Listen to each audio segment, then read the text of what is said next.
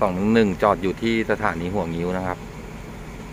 ในเขตจังหวัดนครสวรรค์นะครับ เดี๋ยวจะรีกับรถสินค้านะครับ ขบวนหกสามหกครับ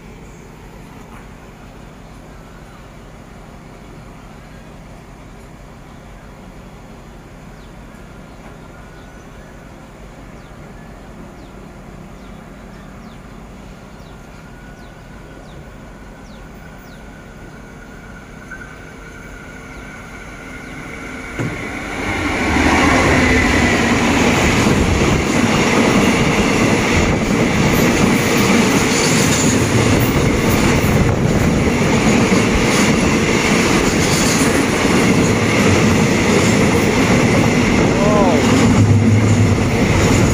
ยอดครับ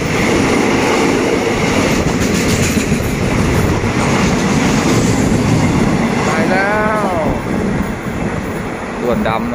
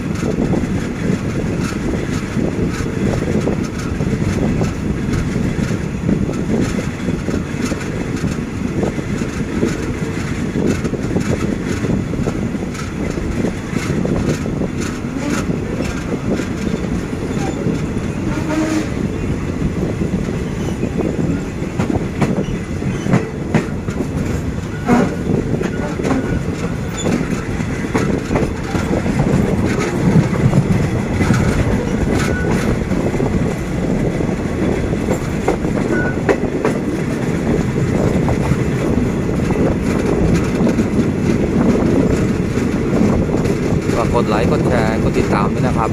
พบกันในคลิปต่อไปครับ